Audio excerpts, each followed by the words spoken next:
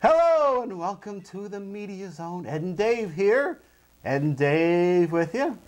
Another exciting. Uh, I know what uh, one thing I have to do at the opening of the show, Dave, is uh, just mention what's going to uh, come on in the next half hour.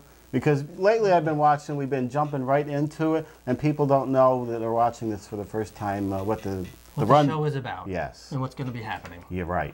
I've been just too excited to be back. And, well, well, tell them what's on the show. I'm, I'm interrupting you once go. again. I'm That's doing what- it again. I'm sorry. That's fine. Go ahead. Uh, we look at films and uh, TV shows and all kinds of media. And tonight we'll be looking at Aliens in the Attic and Funny People. Also, what's coming out on DVD this week. We have uh, one death to report, and we're going to look back at uh, two other ones that got kind of short uh, mention. Michael Jackson and Farrah Fawcett. Little different tributes here. Michael Jackson died? he did die, Dave. Oh my God, I didn't know that. If we have time, we're going to get to a classic commercial. That Celebrity Plates game has been on the list for about five months now, and we probably won't get to that. And uh, at the end of the show, we're going to give you a chance to win free movie tickets with the Poster Pairs game. Ooh. And tonight we have a special guest with us, Dave. Who do we have, Ed? It's Crista Leigh. Hey there, everyone. What's going on?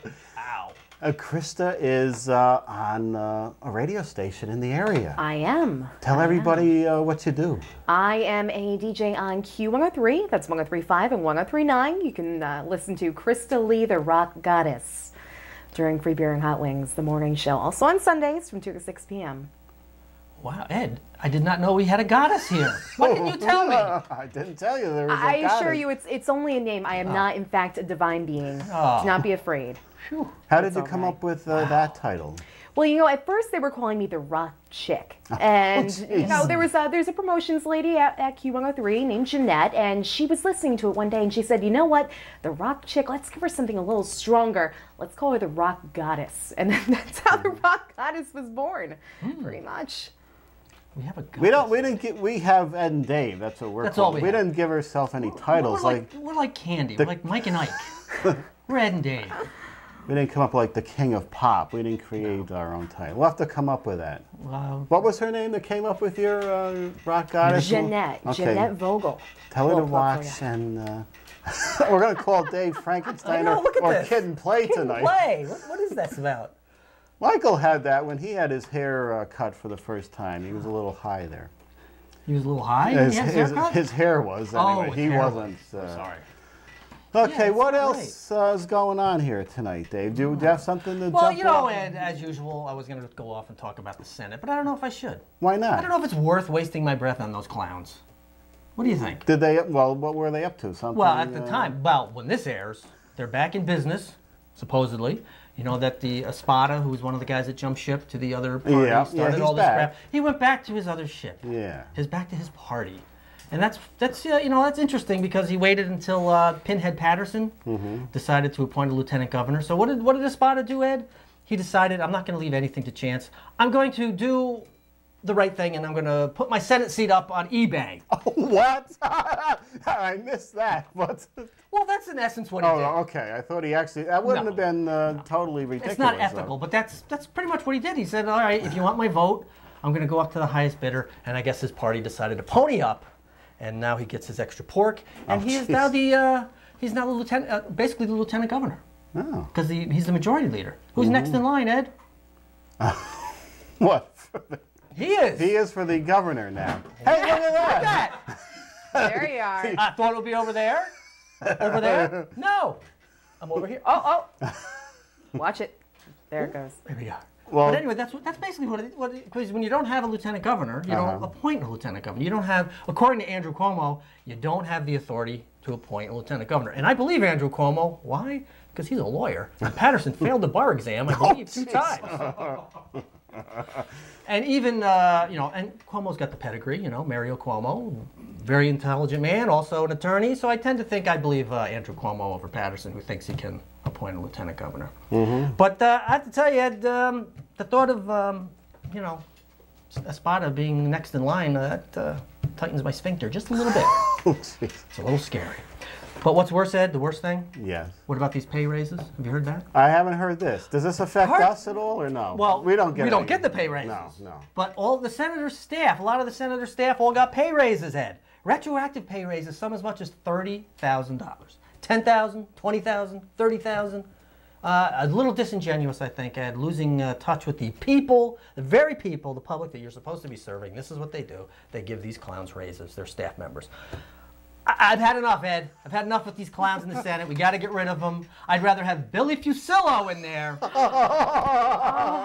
Running. Crista loves, loves Billy. My love, my love is Billy. Billy, if you're out there, Oh,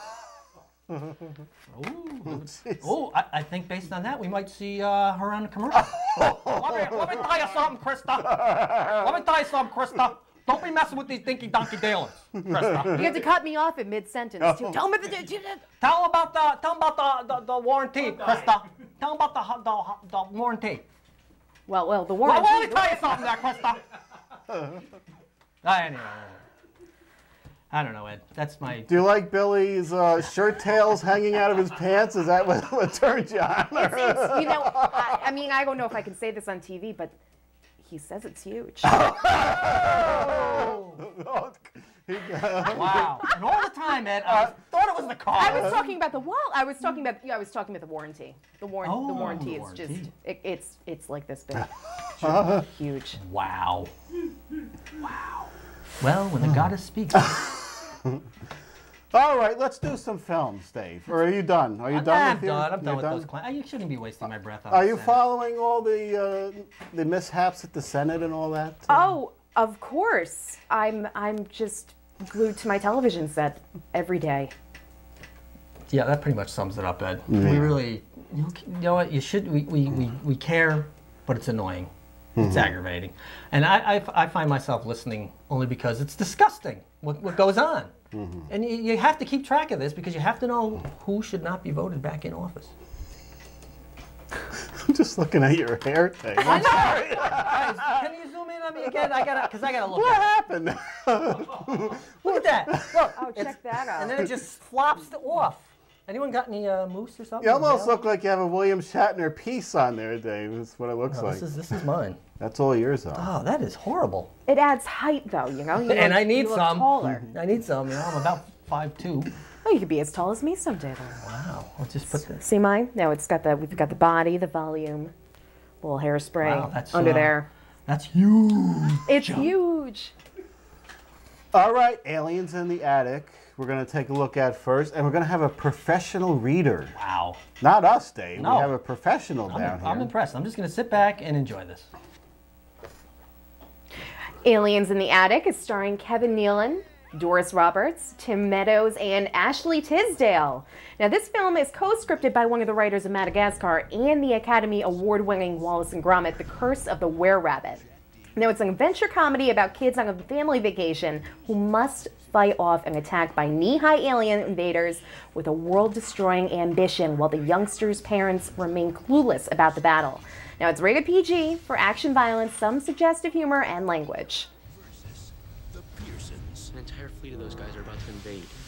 I don't- is there a premise here, or is just the aliens are bad? We can say that right off the bat.